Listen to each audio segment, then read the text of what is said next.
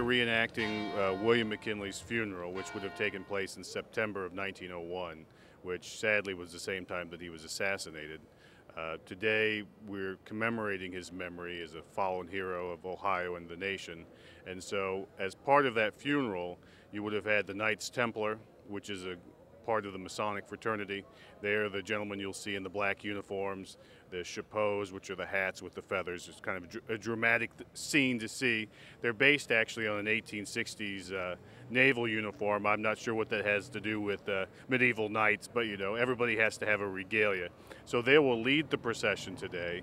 We uh, actually have a um, horse-drawn uh, uh, funeral wagon that will be here today.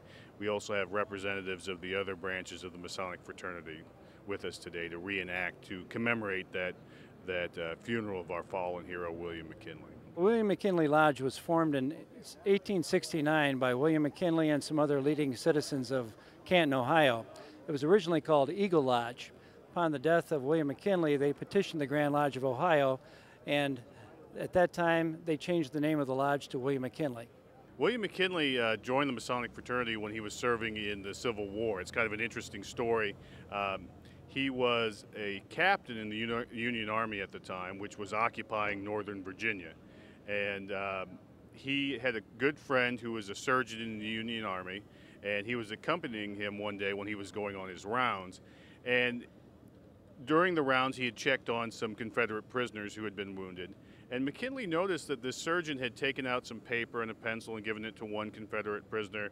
He'd given a little bit of uh, money to another. And M- McKinley kind of challenged him about that and asked him why he was giving these extra comforts to our Confederate prisoners. And the surgeon responded that yes, they are our enemy, they are our prisoners, but they're also fellow Freemasons. And the surgeon was a Freemason, and he felt he wanted to give as much comfort as he could to these soldiers obviously without violating his oath as an officer. McKinley was so impressed by this act, this act of brotherhood that bridged the Brothers' War, that um, he requested membership in the local Masonic Lodge. Now, that day he was initiated, it's kind of interesting. Uh, he would have shown up in his best Union uniform, specially brushed, the polished brass buttons.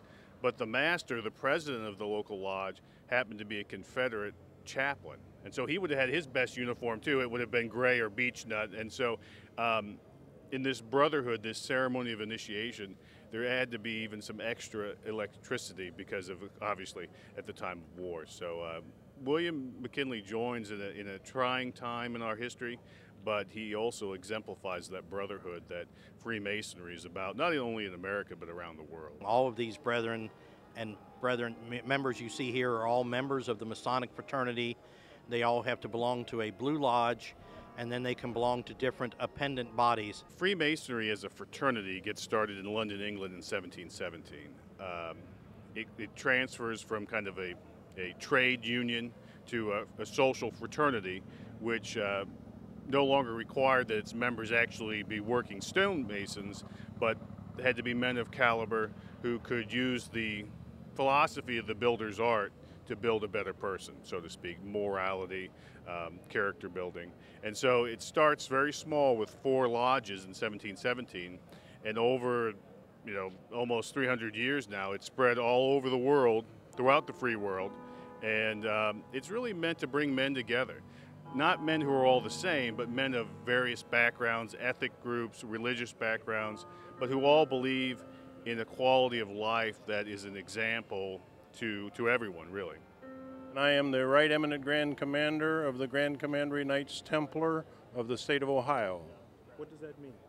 Uh, basically, I am the, the top uh, ranking officer here in the state of Ohio for the Commandery, which is one of the, the Christian branch within Masonry here in Ohio as a subdivision of the Grand Lodge or the Masonic bodies in the state of Ohio, we are a capitular degree. Uh, that tends to refer to the building of the temple and the fact that there were columns.